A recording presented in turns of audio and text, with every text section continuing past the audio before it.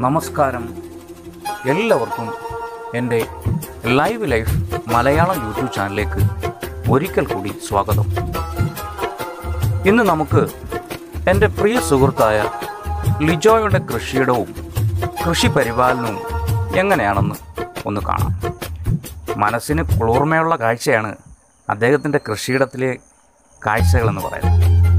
ഇൻഡോനേഷ്യയിൽ നിന്ന് നാട്ടിലെത്തി കൃഷിയിലേക്ക് തിരിയുകയും അത് വളരെ ലാഭകരമാക്കി മുമ്പോട്ട് പോവുകയും ചെയ്യുന്ന ഒരു യുവ കർഷകനാണ് ലിജോ.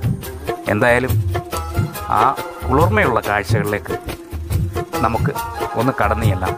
അദ്ദേഹത്തിന്റെ കൃഷി രീതികളെയും അതിന്റെ പരിപാലനത്തെക്കുറിച്ചും ഒന്ന് പരിചയപ്പെടാം.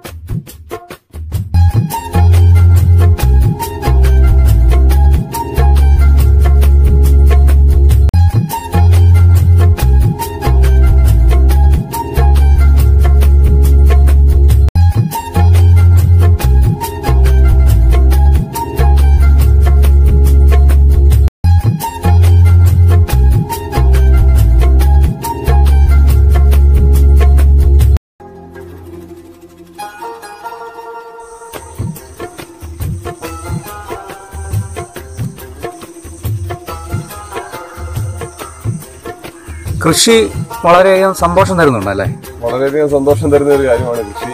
പ്രത്യേകിച്ച് ഈ ലോക്ക്ഡൌൺ കാലത്ത് നമ്മൾ ഒന്ന് രണ്ട് കാര്യങ്ങളെ പരീക്ഷിച്ചു നോക്കിയായിരുന്നു കൃഷി. അത് നമുക്ക് വീട്ടിലേക്കുള്ള കാര്യങ്ങളൊക്കെ പയറും വെണ്ടയൊക്കെ നമ്മൾ ചെയ്തു നോക്കിയത് അപ്പോൾ അത് കൊള്ളാമെന്ന് തോന്നിയപ്പോഴാണ് നമുക്കെന്നാ ഈ വ്യവസായ അടിസ്ഥാനത്തിൽ ചെയ്യാവുന്ന ഒരു പരിപാടിയുടെ ഭാഗമായിട്ടാണ് നമ്മൾ ഇട്ട് നോക്കിയത്.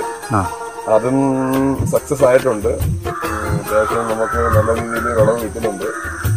ആ ഇന്തോനേഷ്യ നേരെ വീട്ടിൽ വന്നു കഴിഞ്ഞപ്പോൾ ഇന്തോനേഷ്യൻ ജീവിതത്തിലോ നോക്കി നമ്മുടെ നാട്ടിലേക്ക് വന്നു കഴിഞ്ഞപ്പോഴത്തേക്ക് കൃഷി നമുക്ക് വളരെ ഇഷ്ടപ്പെട്ട ഒരു മേഖലയായതുകൊണ്ട് അതിന്റെ പ്രാരംഭഘട്ടം എന്ന നിലയിൽ നിലവിൽ നമ്മൾ ചെയ്തു നോക്കിയതാണ്. കുഴപ്പമില്ല. വളരെ നന്നായിട്ട് പോകുന്നു. ഇതെന്റെ പ്രിയ സുഹൃത്ത് ലിജോ ആണ്. ഇന്തോനേഷ്യയിലായിരുന്നു.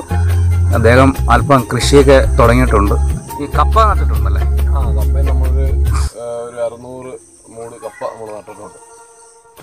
കപ്പ കൃഷി നേരത്തെ ഉണ്ടായിരുന്നു അല്ലേ? കപ്പ കൃഷി നമുക്ക് നേരത്തെ ഉണ്ടായിരുന്നു. എന്നാലും ഇത്രത്തോളം ഉണ്ടായിരുന്നില്ല. നമ്മൾ കൃഷി കൂടുതൽ കൃഷി ചെയ്തിട്ടുണ്ട്. അത്യാവശ്യം കൃഷി ലാഭകരമാണെന്നാണ് ലിജോയുടെ ഇതിനും പയറിനായാലും നമുക്ക് ആവശ്യക്കാർ ഉണ്ട്. ആ. വിളിച്ച് ചോദിക്കാറുണ്ട് അപ്പോൾ കൊടുക്കാറുണ്ട്. നമ്മുടെ വീട്ടിലേക്കുള്ള ആവശ്യങ്ങളെല്ലാം നമ്മുടെ നടക്കുന്നുണ്ട്. ആ ഹാ ഹാ ഹാ ഓക്കെ. പിന്നെ വിഷരഹിതമായിട്ട് നമുക്ക് പച്ചക്കറി ഉത്പാദിപ്പിക്കാൻ പറ്റുക എന്ന് പറയുന്ന ഒരു വലിയ കാര്യം തന്നെയാണ്. നമ്മളിതിനകത്ത് ജൈവവളം മാത്രമേ ഉപയോഗിക്കുന്നുള്ളൂ. വേറൊന്നും ഉപയോഗിക്കുന്നില്ല.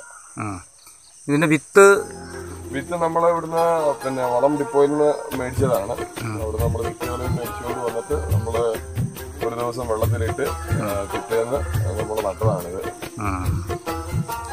അത്യാവശ്യം കുഴപ്പമില്ലാത്ത വിളവ് ലഭിക്കുന്നുണ്ടോ അല്ലേ? വരും തലമുറയ്ക്ക് ഇതൊരു പ്രചോദനമായി തീരട്ടെ. ഓക്കെ നന്ദി ലിജോ. ഓക്കെ.